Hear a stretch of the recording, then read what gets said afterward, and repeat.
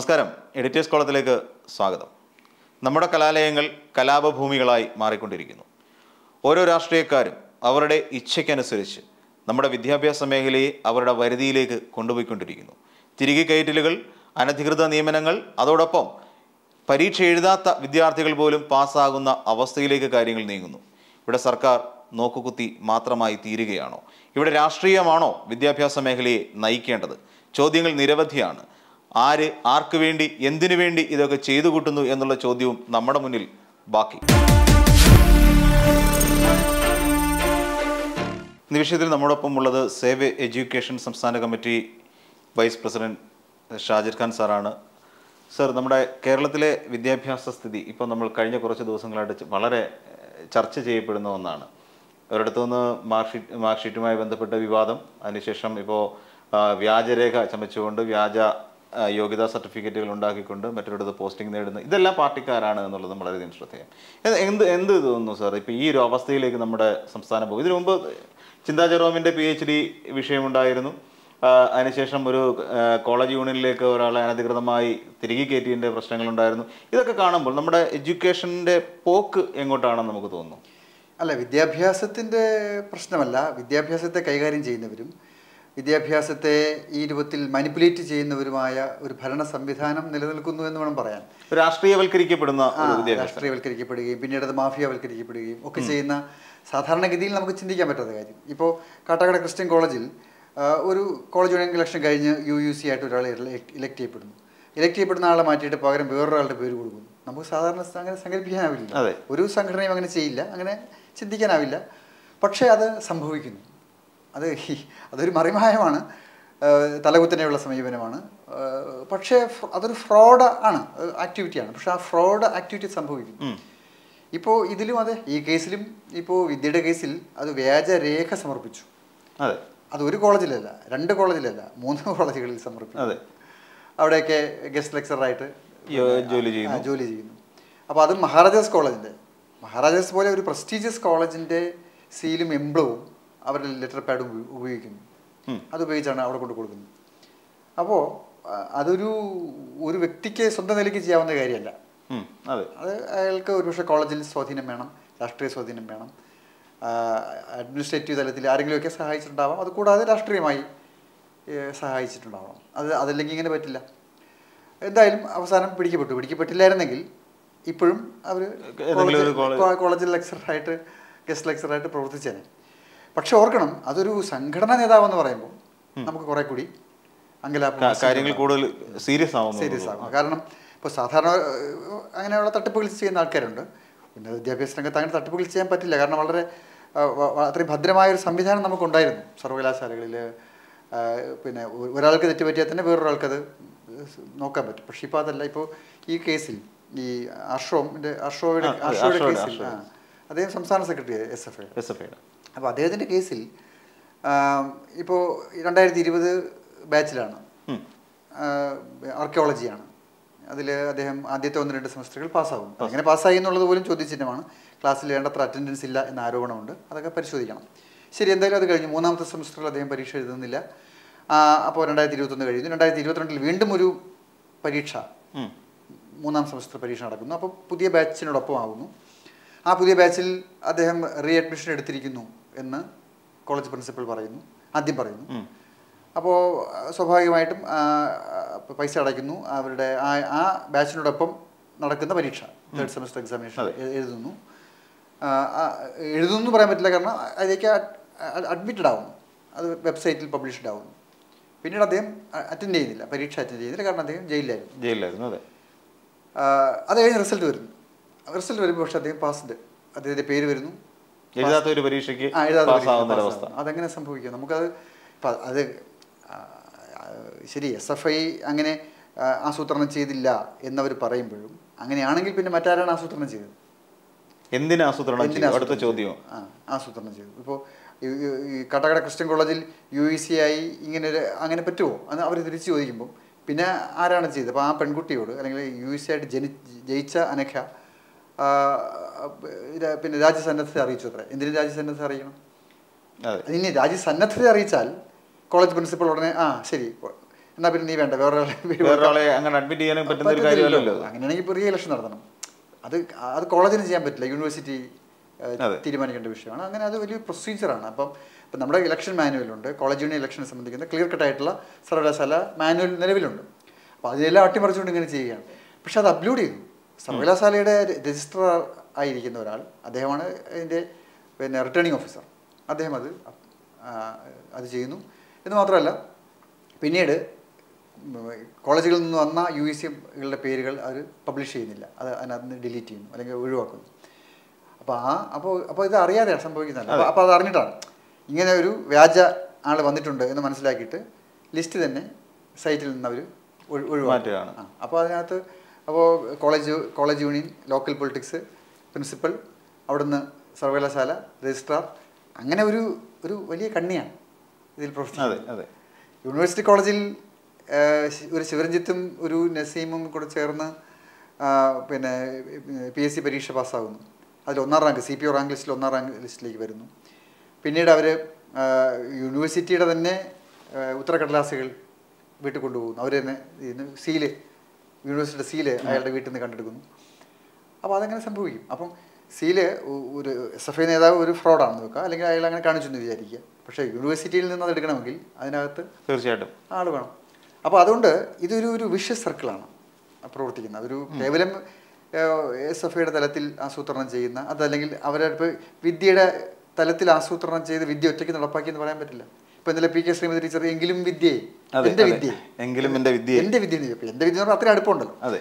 അപ്പൊ അപ്പൊ അവരങ്ങനെ ചോദിക്കുകയാണ്. അവർക്ക് അത്ഭുതം എന്ന മട്ടിൽ പക്ഷെ ആ വിദ്യ മാത്രമാണോ അങ്ങനെയാണെങ്കിൽ? എങ്കിലും എന്റെ വിദ്യ എന്ന് പറയുമ്പോൾ എന്റെ വിദ്യ മാത്രമല്ലല്ലോ. അതെ. ഈ ഇത്രയും വർഷക്കാലം. മൂന്ന് വർഷം അവർ വ്യാജ രേഖയുടെ അടിസ്ഥാനത്തിൽ ഒരു കോളേജിൽ പഠിപ്പിക്കുന്നു. അവിടെ നിന്ന് പണം തട്ടുന്നു. വ്യാജരേഖ സമർപ്പിക്കലും പണം തട്ടലും. പണം തട്ടലും. അങ്ങനെ രണ്ട് ഭയങ്കര ക്രിമിനൽ ഒഫൻസ് ആണ്. ഈ ഒരു എട്ട് വർഷം ജയിലിൽ കിടക്കാവുന്ന കേസാണ്. ഇപ്പോൾ അവർ ഒളിവിലാണെന്ന് പറയുന്നു. ഉം. ഒളിവിലാണ്. ഒളിവിലാണെന്നാണ് പുതിയ വാർത്തകൾ. അല്ല അതങ്ങനെ സംഭവിക്കും. ഇപ്പോൾ ഇപ്പോൾ മൂന്നാൽ ദിവസം ആയല്ലോ അങ്ങനെയാണെങ്കിൽ അവർ അറസ്റ്റ് ചെയ്യണ്ടേ? ഇപ്പോൾ അവർ ഇവർ കേസ് ഫയൽ ചെയ്തിട്ട് തന്നെ മൂന്ന് ദിവസം കഴിഞ്ഞു. കോളേജ് ഫയൽ ചെയ്തിട്ട്. അതെ. അങ്ങനെയാണെങ്കിൽ അത് അപ്പോൾ തന്നെ കസ്റ്റഡിയിൽ കാരണം ജാമ്യമില്ലാ വകുപ്പാണല്ലോ. സാർ എന്റെ ഒരു സംശയം അതല്ല സാർ ഇപ്പോൾ ഈ ഒരു ഘട്ടത്തിൽ പോലും ഈ ഈ പറയുന്ന പോലെ നമുക്ക് നേരത്തെ അറിയാം ചിന്താ ജെറോമിന്റെ കാര്യത്തിൽ സംഭവിച്ചത് പോലെ ഒരു എന്താ കൃത്യമായ ഒരു എറർ സംഭവിച്ചിരുന്നിട്ട് പോലും പല കാര്യ ഇപ്പം ക്രിസ്ത്യൻ കോളേജിൽ സംഭവിച്ചിരുന്നതും ഇതെല്ലാം യൂണിവേഴ്സിറ്റി എന്ന് പറയുന്ന ഒരു ഒരു ഇതിലേക്ക് എത്തുകയാണ്. യൂണിവേഴ്സിറ്റിയിലേക്ക് എത്തുന്നു. പിന്നീട് വെരിഫൈ ചെയ്യേണ്ടതെല്ലാം യൂണിവേഴ്സിറ്റി ആൾക്കാർ തന്നെയാണ്. ഇപ്പോൾ എത്ര രാഷ്ട്രീയ സ്വാധീനം എന്ന് പറഞ്ഞാലും അവിടെ ഇരിക്കുന്ന ആൾക്കാരിലേക്ക് ഇതിനെ വ്യക്തമായ ഒരു എന്താ പറയാ വെരിഫിക്കേഷൻ നടക്കുന്നില്ല. ഇത് ഒരു കാര്യത്തിലും. ഇപ്പം മഹാരാജ് കോളേജിന്റെ ഒരു സീലും ഒപ്പും ആ ലോഗോയും മാത്രം കാണുമ്പോൾ ഒരു യോഗ്യതാ സർട്ടിഫിക്കറ്റ് ആയിട്ട് കൊണ്ട് കാണിക്കുമ്പോൾ അവർക്ക് അവിടെ കോളേജിൽ പഠിപ്പിക്കാൻ വേണ്ട ഒരു സൗകര്യം ഒരുക്കി കൊടുക്കുന്നു. ഇതൊക്കെ ഇതൊന്ന് കൃത്യമായി വെരിഫൈ ചെയ്യപ്പെടാത്തത് എന്തുകൊണ്ടാണെന്നാണ് സാറിന് തോന്നുന്നത്? പെസഹ വ്യാഴാഴ്ചയാണ്. അവ- അവധി ദിവസമാണ് ഒപ്പിട്ട് കൊടുത്തത് ഒപ്പിട്ട് കൊടുത്തിരിക്കുന്നത്. അതെ. അപ്പോൾ അത് കാണുമ്പോഴെങ്കിലും അങ്ങനെ ഒരു ഒപ്പിട്ട് കൊടുക്കാൻ ആ ദിവസം പറ്റത്തില്ലല്ലോ. അതെ. അപ്പോൾ ഒരു കാരണവശാലും നടക്കുന്ന. മറ്റെവിടെയോ വെച്ചാണ് അപ്പോൾ അത് മാനിപ്പുലേറ്റ് ചെയ്താണെന്നുള്ളത് ആ ഡേറ്റ് വെച്ചിട്ട് നോക്കാൻ പറ്റും. അത് ഹോളിഡേയ്സ് ആണ്. ആ മൂന്ന് ദിവസം ഹോളിഡേയ്സ് ആണ്. അതെ. അപ്പോൾ അതാണ്. അപ്പോൾ അപ്പോൾ അത് വെരിഫൈ ചെയ്യാത്തതുകൊണ്ടല്ല അവർക്കത് അറിയാം. വെരിഫിക്കേഷൻ ആ അർത്ഥത്തിൽ നോക്കിയാൽ അപ്പോൾ അത് യഥാർത്ഥത്തിലല്ല പക്ഷേ പിന്നെ രാഷ്ട്രീയ സ്വാധീനത്തിന്റെ അടിസ്ഥാനത്തിൽ അധികാരത്തിന്റെ സ്വാധീനത്തിന്റെ അടിസ്ഥാനത്തിൽ അവർക്ക് ഗസ്റ്റ് ലെക്ചറർ അല്ലേ? പെർമനന്റ് ഫാക്കൽറ്റി അല്ലല്ലോ. കൊടുത്തേക്കാം എന്ന് വിചാരിക്കും. എന്ന് വിചാരിക്കുകയാണ്. അപ്പോൾ അങ്ങനെ എന്തെല്ലാം സാധ്യതകളുണ്ടോ? ആ സാധ്യതകൾ മുഴുവൻ പാർട്ടിക്കാർക്ക് സംവരണം ചെയ്തും പാർട്ടിക്കാർക്ക് അനധികൃതമായും പിന്നെ അട്ടിമറികൾ നടത്തിക്കൊണ്ടും മെറിറ്റ് അട്ടിമറിച്ചുകൊണ്ടും ചെയ്തുകൊണ്ടിരിക്കുന്നു. അത് കോളേജ് അഡ്മിഷൻ ആകട്ടെ ഇപ്പോൾ ഇവരുടെ പി എച്ച് ഡി പോലും ഈ പറയുന്ന വിദ്യയുടെ പി പി എച്ച് ഡി പോലും അതെ. കാലടി സർവകലാശാല നൽകി. പക്ഷേ കാലടി സർവകലാശാല നൽകിയത് വാസ്തവത്തിൽ സംവരണ വ്യവസ്ഥകൾ അട്ടിമറിച്ചിട്ട് അട്ടിമറിച്ചിട്ടാണ് അതെ. പുതിയ വാർത്തകളും വന്നുകൊണ്ടിരിക്കുകയാണ്. അട്ടിമറിച്ചെന്ന് പറയുന്നത് ആരാ സംസ്ഥാന ഗവൺമെന്റിന്റെ തന്നെ എസ് സി എസ് ടി വകുപ്പാണ്. S C S T cell നടത്തിയ അന്വേഷണത്തിന്റെ ഒരു റിപ്പോർട്ടാണ്. ആ റിപ്പോർട്ടിൽ അവർ പറയുന്നു അഞ്ചു പേരുണ്ടായിരുന്നു അതിൽ വാസ്തവത്തിൽ പാലിക്കേണ്ടിയിരുന്നത്. സംവരണം പാലിച്ചിരുന്നെങ്കിൽ ഇവർക്ക് പി എച്ച് ഡി കിട്ടില്ല. മറ്റവർക്കാണ് കിട്ടേണ്ടിയിരുന്നത്. അപ്പോൾ അത് അട്ടിമറിച്ചു. കാലിക്കറ്റ് യൂണിവേഴ്സിറ്റിയിലെ Divya teacher H O D ആകേണ്ടതാണ്. പക്ഷെ അവർക്ക് എച്ച് ഒ ഡി പദവി കൊടുത്തില്ല. കൊടുത്തിട്ടില്ല. പകരം വേറൊരാൾ കൊടുത്തു. അവിടെ സംവരണ അട്ടിമറിച്ചു. സംവരണ സംവരണ അട്ടിമറിച്ചു അവർ സംവരണ ഒരു ഒരു ദലിത് സ്ത്രീ ആയതുകൊണ്ട് അവർക്ക് യഥാർത്ഥത്തിൽ പ്രൊമോഷന് യോഗ്യത ഉണ്ടായിരുന്നിട്ടും നമുക്കത് ജാതി ആസ്പെക്ട് മാറ്റി വയ്ക്കാം. പ്രൊമോഷൻ യോഗ്യത ഉണ്ടായിരുന്നിട്ടും ജാതീയമായ കാരണങ്ങളാൽ അവരെ തഴയുകയാണ് ചെയ്തത് കാലിക്കറ്റ് യൂണിവേഴ്സിറ്റി. ഇപ്പോൾ പിന്നെ നമ്മൾ ഒരുപാട് ഫൈറ്റ് ചെയ്തിട്ടാണ്. ഇപ്പോൾ ഉത്തരവിട്ടു. S C S T commission ഇപ്പോൾ ഉത്തരവിട്ടു. അവരെ തിരിച്ചെടുക്കാൻ. അത് തിരിച്ചെടുക്കാൻ അവർക്ക് promotion H O D promotion കൊടുക്കാനായിട്ട് ആവശ്യപ്പെട്ടു. അപ്പോൾ അത് അതാണ് പറയുന്നത്. ഇപ്പം നമ്മൾ ഇടപെടുന്നില്ലെങ്കിൽ അതൊരു കേസായിട്ട് വരുന്നില്ലെങ്കിൽ അതൊരു മീഡിയ വാർത്തയാകുന്നില്ലെങ്കിൽ ഇപ്പോൾ ഈ അർഷോ അർഷോയുടെ കേസിൽ വാസ്തവത്തിൽ മീഡിയ വാർത്ത ആയില്ലെങ്കിലും? മാർച്ച് ഇരുപത്തി മൂന്നിന് ഫലം റിസൾട്ട് റിസൾട്ട് വന്നു. അതെ. മാർച്ച് ഇരുപത്തി മൂന്ന് മുതൽ നമ്മളിപ്പോൾ ഇത് ചർച്ച ചെയ്യുന്ന ജൂൺ ഫസ്റ്റ് വരെയുള്ള സമയത്ത് ഫസ്റ്റ് വീക്ക് വരെയുള്ള സമയത്ത് ആ റിസൾട്ട് അവിടെ കിടക്കുകയാണ് വെബ്സൈറ്റിൽ കിടക്കുകയല്ലേ? തേർഡ് കിടപ്പുണ്ട് കിടപ്പുണ്ടല്ലോ. പാസ്ഡ് എന്ന് കിടക്കുകയല്ലേ? ഇപ്പോൾ ശരി കെ എസ് യു. അപ്പോൾ കെ എസ് യു രാഷ്ട്രീയമായിട്ടാണെന്ന് പറയാം. പക്ഷേ രാഷ്ട്രീയമായിട്ടാണെങ്കിൽ അല്ല അത് മാറ്റി വയ്ക്കുക അത് പോട്ടെ രാഷ്ട്രീയത്തിനപ്പുറത്ത് നിന്നുകൊണ്ട് ആ, നമ്മൾ അതെ, കെ എസ് യു അതിനെ ആകട്ടെ കെ എസ് യു മറ്റേ ആരും ആവട്ടെ നമ്മൾ വസ്തുത നോക്കിയാൽ മതിയല്ലോ. വസ്തുത അല്ലെങ്കിൽ വസ്തുത അല്ല ഇപ്പം ആര് കൊണ്ടുവന്നു എന്നുള്ളതല്ല. അതെ. ഒരു ഫാക്റ്റ് വരുന്നു. ആ ഫാക്റ്റ് പരിശോധിക്കേണ്ടത് അപ്പോൾ അതിന് ശേഷമാണ് നട- നടപടി. അപ്പം അപ്പോൾ അതുവരെ ഇവർക്ക് അറിയില്ലായിരുന്നു എന്ന് പറയുമ്പോൾ അതിനകത്തൊരു മോണിറ്ററിംഗ് ഇല്ലേ? സാധാരണ അപ്ലോഡ് ചെയ്യുമ്പോൾ ഒരു റിസൾട്ട് അപ്ലോഡ് ചെയ്യുമ്പോൾ അതിന് ചില പ്രൊസീജിയേഴ്സ് ഉണ്ട്. തീർച്ചയായിട്ടും. ഇപ്പം നമ്മളൊരു ഒരാളൊരു ഒരു എക്സാമിനേഷന് അപേക്ഷ കൊടുത്താൽ അപേക്ഷ പരിഗണിക്കും. അപേക്ഷ കൊണ്ട് മാത്രം അത് വരില്ല. പിന്നീട് ഫീസ് അടയ്ക്കണം അങ്ങനെ അത് രജിസ്റ്റേർഡ് ആകണം. രജിസ്റ്റേർഡ് ആയതിനു ശേഷമാണ് പിന്നീട് അത് അപ്ലോഡ് ചെയ്യപ്പെടുന്നത്. അപ്പോൾ അത് പല തട്ടുകളിലൂടെ കടന്നു പോകണം. എന്നിട്ടാണത് ഫൈനലി അത് അപ്ലോഡ് ചെയ്യപ്പെടും ഫൈനൽ ലിസ്റ്റാണ് വരുന്നത്. ലിസ്റ്റ് ആവുന്നത്. അപ്പോൾ എൻ ഐ സിയുടെ പിഴവ് വരുന്നു. എൻ ഐ സിയുടെ പിഴവ് ഈ കക്ഷിക്ക് മാത്രമാണ്. എസ് എഫ് ഐയുടെ സംസ്ഥാന സെക്രട്ടറിക്ക് മാത്രമായി ആ പിഴവ് സംഭവിച്ചു എന്ന് പറയുന്നത് അത്ഭുതമല്ലേ? അങ്ങനെയാണെങ്കിൽ ഒരു പത്ത് നൂറ് നൂറ് പേർക്ക് സംഭവിച്ചു. ശരി. അതിനെ കൂട്ടത്തിൽ സംഭവിച്ചു. അങ്ങനെയും ഒരു ന്യായം പറയാം. അങ്ങനെ സംഭവിക്കാൻ പാടില്ല. നൂറ് പേർക്ക് സംഭവിക്കാൻ പാടില്ല. ഒരാൾക്ക് സംഭവിക്കാൻ പാടില്ല. പക്ഷേ അവർ പറയുന്നതിന് ഒരു യുക്തി തീരെയില്ല. അപ്പോൾ അത് ആരോ ചെയ്തു. ഇപ്പോൾ അദ്ദേഹം പറയുന്നത് അദ്ദേഹമല്ല മറ്റാരോ ചെയ്തു എന്നാണ്. അത് അന്വേഷിക്കണം എന്നാണ് അദ്ദേഹം ആവശ്യപ്പെടുന്നത്. ശരി അന്വേഷിക്കാം. അപ്പോൾ അങ്ങനെയാണെങ്കിൽ കോളേജ് പ്രതിക്കൂട്ടിലാണ്. കോളേജ് പ്രിൻസിപ്പൽ അതെ, അതൊരു ഓട്ടോണമസ് കോളേജാണ്. അവരുടെ ആണ് അവരുടെ എക്സാമിനേഷൻ സിസ്റ്റമാണ് അത് ഗവൺമെന്റ് സിസ്റ്റമാണ് അപ്പോൾ അതെല്ലാം പ്രതിക്കൂട്ടി നിൽക്കുകയാണ്. അങ്ങനെയാണെങ്കിൽ.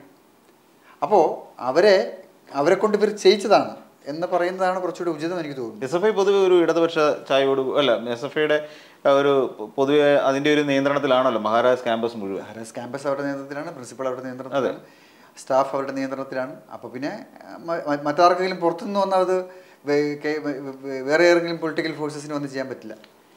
ഹർഷം കുറിച്ച് പ്രതികരിച്ച് ഇത് മാധ്യമങ്ങൾ അല്ലെങ്കിൽ എതിർകക്ഷികൾ ഇതിനെ വളച്ചൊടിച്ചു കൊണ്ടുവന്ന് ഇങ്ങനെ അദ്ദേഹത്തെ ഒരു പ്രതിക്കൂട്ടിലാക്കിയിരിക്കുകയാണ്. ഇതുകൊണ്ടൊന്നും ഞങ്ങൾ എസ് എഫ് ഐ എന്ന് പറയുന്ന വിദ്യാർത്ഥി പ്രസ്ഥാനം താഴെ വീഴില്ല എന്നൊക്കെ പറയുന്ന രീതിയിലാണ് അഷ്റഫിന്റെ ഒരു പ്രതികരണമൊക്കെ വന്നുകൊണ്ടിരിക്കുന്നത് ഈ ഒരു സാഹചര്യത്തിൽ. എസ് എഫ് ഐ എന്ന പ്രസ്ഥാനം താഴെ വീഴേണ്ട ആവശ്യമില്ല. പക്ഷേ അതല്ലല്ലോ എസ് എഫ് ഐ എന്ന പ്രസ്ഥാനത്തെ തകർക്കാനല്ലല്ലോ. പക്ഷേ നമ്മൾ പറയുന്നത് എന്താണ്? എസ് എഫ് ഐയുടെ സംസ്ഥാന നേതാക്കൾ അല്ലെങ്കിൽ ജില്ലാ നേതാക്കന്മാർ അല്ലെങ്കിൽ ലോക്കൽ നേതാക്കന്മാർ ഇപ്പം നടത്തിക്കൊണ്ടിരിക്കുന്ന അട്ടിമറികൾ തട്ടിപ്പുകൾ വ്യാജ രേഖകൾ ചമയ്ക്കൽ അങ്ങനെ കുറ്റകരമായ പ്രവർത്തനങ്ങൾ അവർ നടത്തിക്കൊണ്ടിരിക്കുന്നു. അവർക്ക് രാഷ്ട്രീയ പ്രവർത്തനമില്ല അവർക്ക് മുദ്രാവാക്യങ്ങളില്ല അവർക്ക് വിദ്യാ വിദ്യാർത്ഥികൾക്ക് ധാർമ്മികത അവർ പ്രദാനം ചെയ്യുന്നില്ല. പകരം അവർ ചെയ്യുന്നത് യഥാർത്ഥത്തിൽ ഇപ്പോൾ അവഹേളിക്കുന്ന ഇപ്പോൾ രാഷ്ട്രീയത്തെ വിദ്യാർത്ഥി സംഘടനാ പ്രവർത്തനത്തെ അതിന്റെ മഹത്വത്തെ ചോദ്യം ചെയ്യല്ലേ? വിദ്യാർത്ഥികളെ തന്നെ വിദ്യാർത്ഥികളെ തന്നെ അവഹേളിക്കുന്നതാണ്. അവഹേളി- വിദ്യാർത്ഥികളൊക്കെ എല്ലാവരും തട്ടിപ്പുകാരാണെന്ന് നാട്ടുകാർ വിചാരിക്കില്ലേ അതെ. ഇപ്പോൾ ഇവരിങ്ങനെ ചെയ്യുമ്പം ഇപ്പോൾ പരീ എഴുതാതെ പരീക്ഷ പാസ്സായി. അങ്ങനെയും പാസ്സാകാൻ വകുപ്പുണ്ട്. അത് എന്ത് സാങ്കേതിക പിഴവെന്ന് പറഞ്ഞാലും പരീക്ഷ എഴുതാത്ത ഒരാൾ അയാളെ പാസ്സാവും? എങ്ങനെ പാസ്സാവും? പാസ്സായി. അപ്പോൾ അവർ പറഞ്ഞു അപ്പോൾ അവർ സാങ്കേതികമായിട്ട് പറയും അവർക്ക് പൂജ്യം മാർക്കാണ്. അത് പൂജ്യം മാർക്കാണെങ്കിൽ മൂന്നാമത്തെ സെമസ്റ്റർ അദ്ദേഹം പാസ്സായിട്ടില്ല. പക്ഷേ പാസ് എന്ന് കാണിച്ചിരിക്കുന്നെങ്കിലും മാർക്കില്ലാത്തതിനാൽ മാർക്കില്ലാത്തതിനാൽ ഫൈനൽ ലിസ്റ്റ് വരുമ്പോൾ ഫൈനൽ ലിസ്റ്റ് ഞാൻ എന്താ വരുന്നത് ആറ് വർഷങ്ങൾക്ക് ശേഷമല്ല. അന്ന് അന്നത്തെ സ്ഥിതി അന്ന് ഇതാരോർക്കാൻ പോകുന്നു. അന്ന് ഇതിനെക്കുറിച്ച് ഇന്നൊരു ചർച്ച ആയതുകൊണ്ട് മാത്രമാണ് ഇത് ഒരു മൂന്ന് വർഷങ്ങൾക്ക് ശേഷം ഇനി ഒരു മൂന്ന് വർഷങ്ങൾക്ക് ശേഷം അന്തിമ റിസൾട്ട് വരുമ്പോൾ ഈ തേർഡ് സെമസ്റ്റർ സ്കിപ്പ് ചെയ്യപ്പെട്ടു. അദ്ദേഹം ഫോർത്ത് സെമസ്റ്ററിലേക്ക് പ്രൊമോട്ടഡ് ആയി. ഫോർത്ത് സെമസ്റ്റർ പരീക്ഷ എഴുതാം എഴുതാതിരിക്കാം. എഴുതുകയാണെങ്കിൽ അങ്ങനെ പോകും. പിന്നെ അവസാനം എല്ലാം കൂടി ചേർത്ത് പാസ് എന്ന് പറഞ്ഞു കൊടുക്കും. അപ്പോൾ പിന്നെ നമ്മൾ പറയാം അന്ന് മൂന്ന് വർഷങ്ങൾക്ക് മുമ്പ് മൂന്നാം സെമസ്റ്ററിൽ അദ്ദേഹം പരീക്ഷ എഴുതിയിട്ടില്ല എന്ന് അന്ന് കാര്യം അതെ അന്നൊന്നും പറഞ്ഞു അന്നൊന്നും ഇത് ചർച്ചയാവാനേ സാധ്യതയില്ല. ഒരു സാധ്യതയില്ല. അതെ.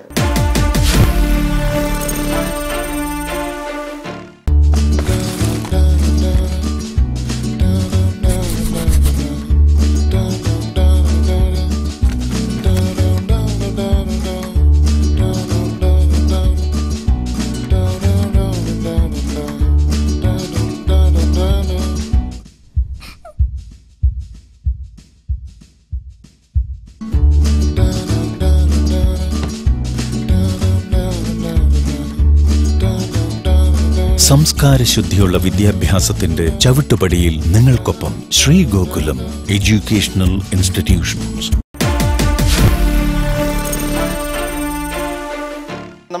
യൂണിവേഴ്സിറ്റികളെല്ലാം തന്നെ ഒരു പക്ഷേ ഈ രീതിയിലൊരു അധപ്പതനത്തിന്റെ വക്കിലാണെന്ന് തന്നെ പറയാം. നമുക്കറിയാം നേരത്തെ അവിടെ ഉണ്ടായിരുന്ന യൂണിവേഴ്സിറ്റി അസിസ്റ്റന്റ് പരീക്ഷ മുതൽ ഇങ്ങോട്ട് നമ്മൾ ചിന്തിച്ചു നോക്കിയാൽ എല്ലാവിടവും സിൻഡിക്കേറ്റ് നിയമനങ്ങളാണെങ്കിൽ എല്ലാം ഒരുതരം അട്ടിമറി സംഭവിച്ചുകൊണ്ടിരിക്കുന്നു. അന്ന് തന്നെ ഏകദേശം രണ്ടായിരത്തി എട്ട് ആ കാലഘട്ടങ്ങളിലൊക്കെയാണ് അതിന്റെ ഒരു പ്രശ്നങ്ങളൊക്കെ ഉണ്ടായത്. ഈ യൂണിവേഴ്സിറ്റി അസിസ്റ്റന്റ് നിയമനവുമായി ബന്ധപ്പെട്ട് അവിടെ കുറേ പേരുടെ ജോലികൾ പിന്നീട് നഷ്ടം അത് തെറ്റായിരുന്നു അല്ലെങ്കിൽ ഉദ്ദേശിക്കാത്ത രീതിയിലാണ് അല്ലെങ്കിൽ നിയമപരമായിട്ടല്ല ജോലികളൊക്കെ കൊടുത്തതെന്ന് പറഞ്ഞിട്ട് അന്ന് കുറേ ഇതൊക്കെ ഉണ്ടായിരുന്നു. എല്ലാ യൂണിവേഴ്സിറ്റികളിലും ഇത് സംഭവിക്കുകയും ചെയ്യുന്നുണ്ട്. ഇത് രാഷ്ട്രീയം ഇതിലേക്ക് കടന്നു വരുന്നതിന്റെ ഒരു ഭാഗമായിട്ട് തന്നെ നമുക്കിത് കാണാൻ കഴിയുന്നു എന്നല്ലേ?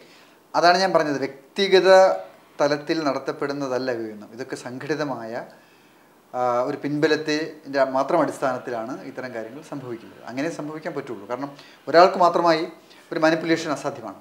മാനിപ്പുലേഷൻ അവർ നടത്തും. പക്ഷേ ആ മാനിപ്പുലേഷൻസ് ബന്ധപ്പെട്ട അധികാര കേന്ദ്രങ്ങൾ അത് കോളേജ് കോളേജ് യൂണിവേഴ്സിറ്റി യൂണിവേഴ്സിറ്റി കൺട്രോളറെങ്കിൽ കൺട്രോളർ വൈസ് ചാൻസലറെങ്കിൽ വൈസ് ചാൻസലർ വൈസ് ചാൻസലർ നിയമനത്തിൽ പോലും യഥാർത്ഥത്തിൽ മാനദണ്ഡങ്ങൾ പാലിക്കുന്നില്ല. പാലിക്കുന്നില്ല. അതെ. Pro vice chancellor പാലിക്കുന്നില്ല.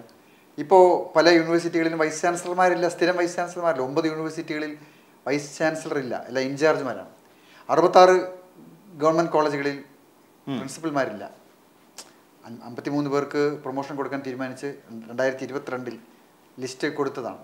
പക്ഷേ രാഷ്ട്രീയ കാരണങ്ങളാൽ അവർ നിയമിക്കുന്നില്ല. പ്രൊമോഷൻ കൊടുക്കുന്നില്ല. പകരം ഇൻചാർജ്മാരെ അവർക്ക് ഇഷ്ടപ്പെട്ടവർ വയ്ക്കുന്നു കാരണം പ്രൊമോട്ടഡായി വരുന്നത് യോഗ്യരായ ആൾക്കാരായിരിക്കും. ക്രിസ്ത്യൻ കോളേജിൽ ഇൻചാർജ് ആയിരുന്നു. ഇൻചാർജ് ആയിരുന്നു അപ്പോൾ ഈ ഇൻചാർജ് ഭരണം അവർ മനഃപൂർവം നിലനിർത്തുകയാണ്. അപ്പോൾ ഈ അറുപത്താറ് കോളേജുകളിൽ അവർക്ക് അവർക്ക് ഇഷ്ടപ്പെട്ടവരെ ഇൻചാർജ്മാരായി നിയമിക്കുകയും ആ ഇൻചാർജ്മാരെ ഉപയോഗിച്ച് അട്ടിമറികൾ നടത്തുകയും ചെയ്യും. അതാണ് യഥാർത്ഥത്തിൽ നടന്നുകൊണ്ടിരിക്കുന്നത്. അപ്പോൾ മെറിറ്റ് അട്ടിമറിക്കപ്പെടുന്നു പ്രൊമോഷൻ അട്ടിമറിക്കപ്പെടുന്നു അവിടെ പിന്നെ എല്ലാ വിധത്തിലുമുള്ള നിയമനങ്ങൾ അവിടെ ഫ്രീസ് ചെയ്യപ്പെട്ടിരിക്കുന്നു. വൈസ് ചാൻസലർ വരെ ഒരു സർവകലാശാലയുടെ ഏറ്റവും ഉന്നതമായ സ്ഥാനത്ത് വരേണ്ടുന്ന ആളുകളുടെ കേസിൽ പോലും ഇപ്പോൾ അവർ പാനൽ കൊടുക്കില്ല. കേരള യൂണിവേഴ്സിറ്റി വൈസ് ചാൻസലറെ നിയമിക്കുന്നതിന് യൂണിവേഴ്സിറ്റിയുടെ നോമിനിയുടെ പേര് കൊടുക്കാതെ അവർ വൈകിപ്പിച്ചില്ല.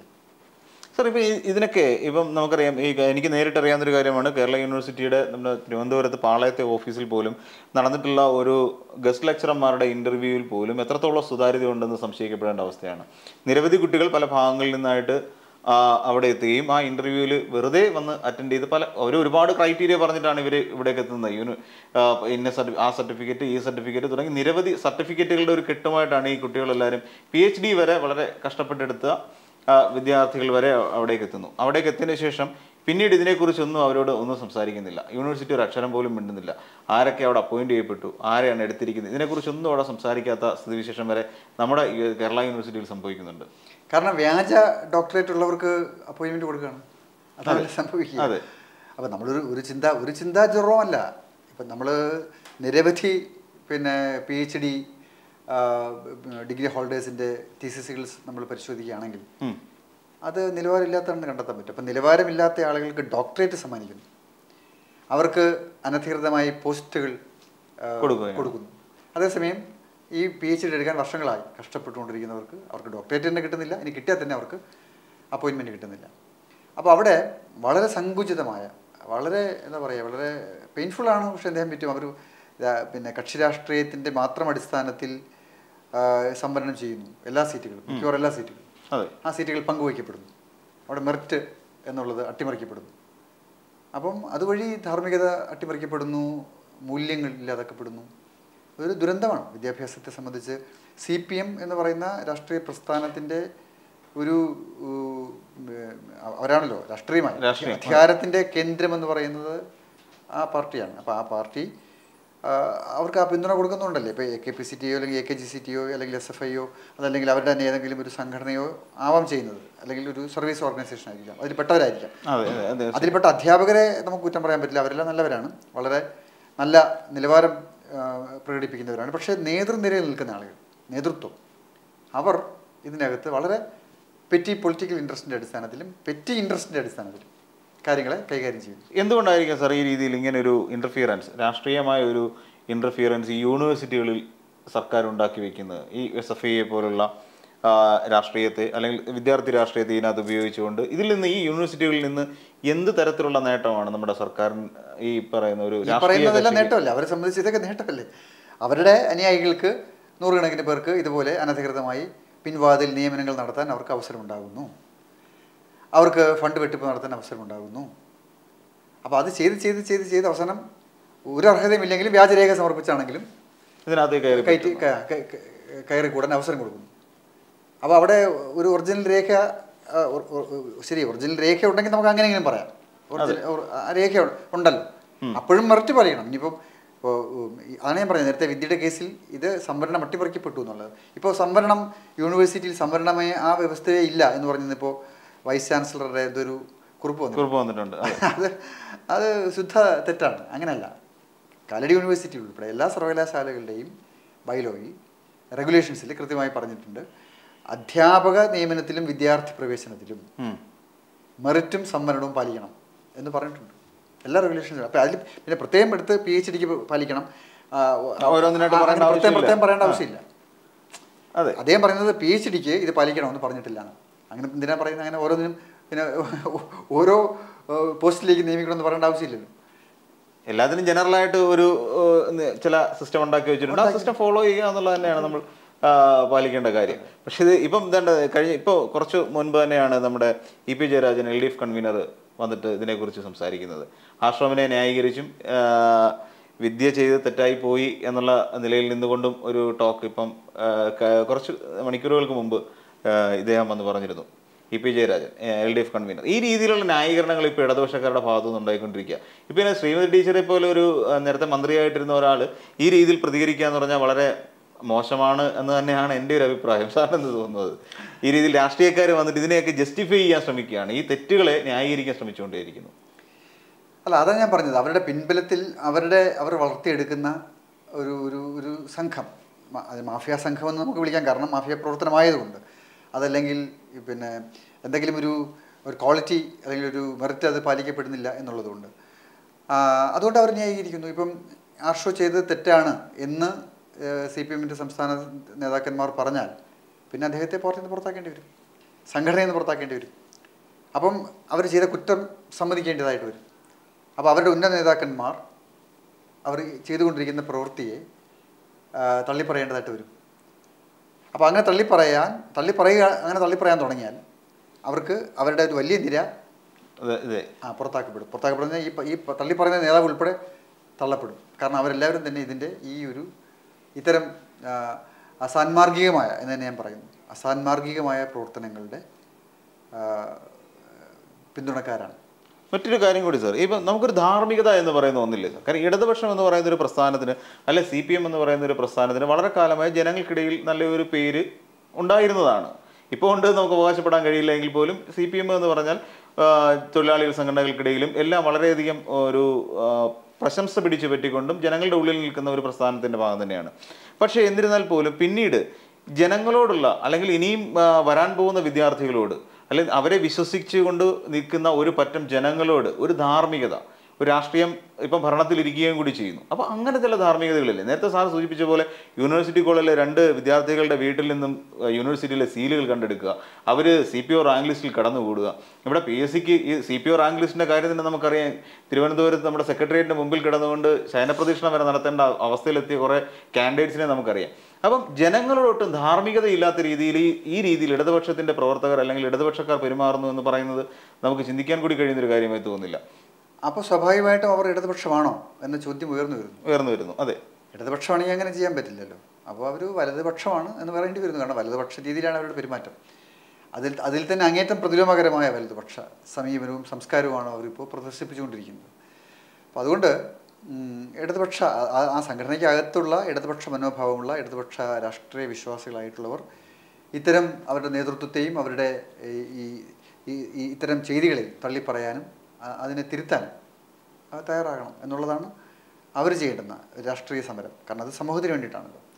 പൊതുവിൽ നമുക്ക് ഇവരുടെ ചെയ്തികൾക്കെതിരായി ഫൈറ്റ് ചെയ്യേണ്ടി വരും. വിദ്യാർത്ഥികൾക്കാണെങ്കിലും അധ്യാപകർക്കാണെങ്കിലും. ഇപ്പോൾ ഇപ്പോൾ പല കോളേജുകളിലും വിദ്യാർത്ഥികൾ പ്രക്ഷോഭത്തിലാണ്. ഇപ്പോൾ അമൽ ജ്യോതി കോളേജിൽ മനുഷ്യാവകാശ ധ്വംസനമാണ്. ഇപ്പോൾ മാനേജ്മെന്റുമായി അവർ ചിലപ്പോൾ വേണമെങ്കിൽ ധാരണ ഉണ്ടാക്കിയേക്കാം. അപ്പം വാസവൻ ഇടപെട്ടത് സെറ്റിൽ ചെയ്യാൻ ശ്രമിച്ചു. പക്ഷേ പ്രശ്നമുണ്ട്. അടിസ്ഥാനപരമായി വിദ്യാർത്ഥികൾ മനുഷ്യാവകാശ ധ്വംസനം നേരിടുന്നുണ്ട്. അപ്പോൾ എന്തായാലും ശരി. അപ്പോൾ അങ്ങനെയുള്ള ഓരോ വിഷയത്തിലും വിദ്യാർത്ഥികളെ ബാധിക്കുന്ന വിദ്യാഭ്യാസത്തെ പൊതുവിൽ ബാധിക്കുന്ന ഓരോ പ്രശ്നത്തെയും സംബന്ധിച്ച് അവിടെ ഒരു ഒരു ജനാനുകൂലമായ ഒരു ജനാധിപത്യപരമായ ഒരു സമീപനം സ്വീകരിക്കണം. അതിന് ഇവർക്കത് കഴിയുന്നില്ല. കാരണം അവർ ഇപ്പോൾ ഈ എന്താ പറയുക ഈ കോർപ്പറേറ്റ് അനുകൂല അല്ലെങ്കിൽ അഴിമതികളുടെ പിന്തുണക്കാരോടൊപ്പം അവർ സഞ്ചരിക്കുന്നു എന്നുള്ളതുകൊണ്ട് അവർക്ക് അതിനെല്ലാം ന്യായീകരിക്കേണ്ടി വരും. ചാനൽ ചർച്ചകളിൽ പോലും അവരുടെ നേതാക്കന്മാർ പല സന്ദർഭങ്ങളിലും ന്യായീകരണ തൊഴിലാളികളായി മാറും മാറുന്നു അതെ. അതതിന് അവർ അങ്ങനെ നിർബന്ധിതരാകുന്നതാണ്. അപ്പോൾ അതുകൊണ്ട് ആ സാഹചര്യത്തിന് മാറ്റം ഉണ്ടാക്കണം അവിടെ ധാർമ്മികതയുടെ നേരത്തെ പറഞ്ഞല്ലോ ധാർമ്മികതയുടെ അടിസ്ഥാനത്തിൽ ശരിതെറ്റുകളുടെ അടിസ്ഥാനത്തിൽ മെറിറ്റിന്റെ അടിസ്ഥാനത്തിൽ ഒരു സാമൂഹ്യമായ കാഴ്ചപ്പാടിന്റെ അടിസ്ഥാനത്തിൽ സർവോപരി ഇടതുപക്ഷീയതയുടേതായ സങ്കല്പങ്ങളെ മുൻനിർത്തിക്കൊണ്ട് ഒരു ഫൈറ്റ് ആവശ്യമായിരിക്കുന്നു. നമ്മുടെ സമൂഹം ആവശ്യപ്പെടുന്നത് അതാണ്. എങ്കിൽ മാത്രമേ നമുക്ക് സർവകലാശാലകളെ രക്ഷപ്പെടുത്താനാവൂ. കോളേജുകളെ രക്ഷപ്പെടുത്താനാവൂ. ഈ പറയുന്ന ആർഷോ ഉൾപ്പെടെയുള്ളവരെ അവർ ചെയ്തുകൊണ്ടിരിക്കുന്ന കുറ്റകൃത്യങ്ങളിൽ നിന്ന് അവരെ മോചിപ്പിക്കാനാവും.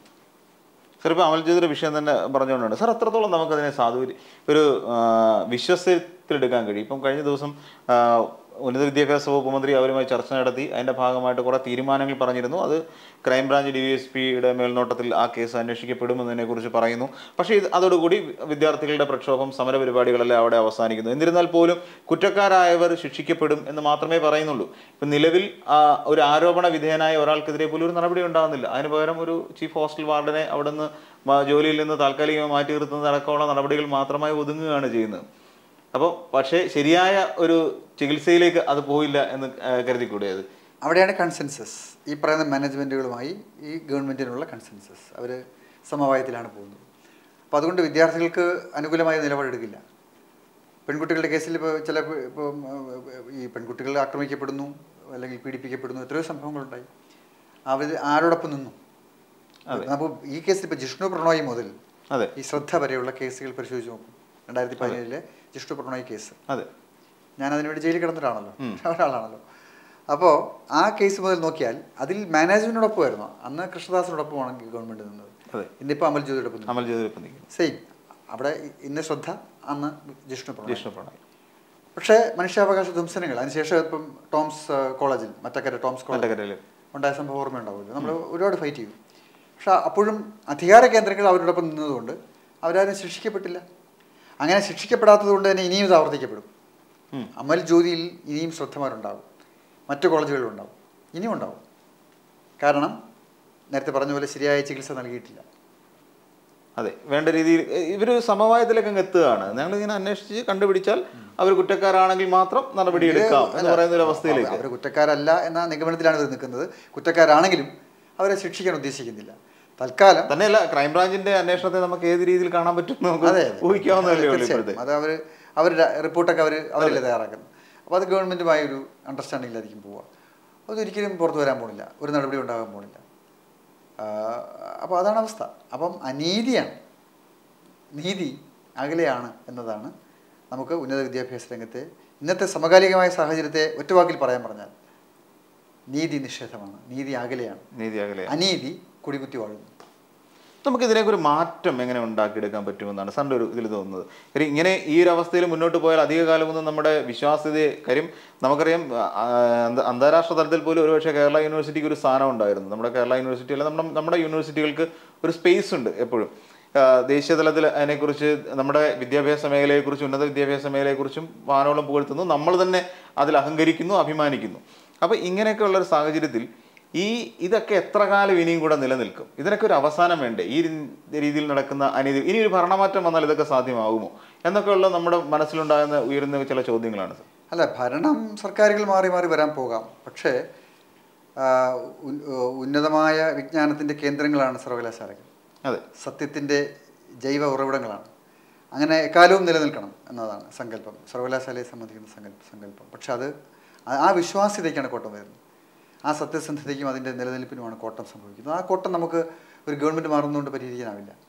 അപ്പോൾ അത് എക്കാലത്തേക്കുമുള്ള മാരകമായ ഒരു പ്രഹരമായിരിക്കും. സർവകലാശാല വിദ്യാഭ്യാസത്തെ സംബന്ധിച്ച് അല്ലെങ്കിൽ സർവകല വിദ്യാഭ്യാസത്തിന്റെ സംവിധാനങ്ങളെ സംബന്ധിച്ച് അതിന്റെ എത്തിക്സിനെ സംബന്ധിക്കുന്ന ഒരു ഒരു ചോദ്യം തന്നെയാണ് അത് ഉയർത്തുന്നത്. അപ്പോൾ അതുകൊണ്ട് ഈ ഗവൺമെന്റും അവരെ പിന്തുണച്ചുകൊണ്ട് ഇപ്പോൾ ചെയ്തുകൊണ്ടിരിക്കുന്ന ഈ കുറ്റകൃത്യങ്ങൾ ചെയ്തുകൊണ്ടിരിക്കുന്ന സംഘടനാ നേതാക്കളും യഥാർത്ഥത്തിൽ ഈ സമൂഹത്തോട് ചെയ്യുന്ന വലിയ വലിയൊരു അപരാധമാണ്. അപ്പോൾ പരിഹാരം അതിന് എതിരായ പ്രക്ഷോഭങ്ങളാണ് ജനാധിപത്യ പ്രക്ഷോഭങ്ങളാണ് വിദ്യാർത്ഥി പ്രക്ഷോഭങ്ങൾ അധ്യാപക പ്രക്ഷോഭങ്ങൾ. സമൂഹം അതിനെതിരെ ജാഗ്രതയോടുകൂടി നിലകൊള്ളുക അതിനെതിരെ പ്രതികരിക്കുക. ഇപ്പോൾ അമൽ ജ്യോതിയെ കുട്ടികൾ തെരുവിലിറങ്ങി പ്രക്ഷോഭ രംഗത്തിലിറങ്ങി. അതേപോലെ ആ പ്രക്ഷോഭങ്ങളാണ് എന്തെങ്കിലും പ്രതീക്ഷകൾ നൽകുന്നത് ഏതെങ്കിലും തരത്തിൽ ഈ ഈ തിരുത്തലുകൾ വരുത്താൻ കഴിയുന്നത്. പലപ്പോഴും കോടതികൾ വിധിക്കാറുണ്ട് പക്ഷേ കോടതി വിധികൾ പോലും പലപ്പോഴും നടപ്പാക്കപ്പെടാറില്ല. എത്രയോ സന്ദർഭങ്ങളിൽ കോടതികളുടെ വിധികൾ അതെ അതെ. അതുപോലും അട്ടിമറിക്കപ്പെട്ടിട്ടുണ്ട് എന്തായാലും സർവകലാശാലകളെയും സമൂഹത്തെയും ജനാധിപത്യവൽക്കരിക്കാനുള്ള ഒരു വലിയ പ്രക്ഷോഭത്തിന്റെ സന്ദർഭമായി നമ്മുടെ ഇന്നത്തെ സമകാലിക സാഹചര്യത്തെ കാണണം എന്നതാണ് സേവ് എഡ്യൂക്കേഷൻ കമ്മിറ്റിയുടെ ഒരു എളിയ പ്രവർത്തകൻ എന്ന നിലയ്ക്ക് എന്റെ അഭ്യർത്ഥന. കാലാതിവർത്തിയാകേണ്ട കലാലയങ്ങളെ കാലബരിക്കയക്കുന്ന നമ്മുടെ വ്യവസ്ഥിതികളെ നമ്മളിവിടെ നിന്ന് പാടെ തുടച്ചു നീക്കേണ്ടതാണ്. അത്തരം നുട തുടച്ചു നീക്കലുകൾക്ക് ആവശ്യം എപ്പോഴും ജനകീയ ജനാധിപത്യ പ്രക്ഷോഭങ്ങൾ തന്നെയാണ്. എഡിറ്റേഴ്സ് കോളം ഇനി വീണ്ടും അടുത്ത ദിവസം കാണാം.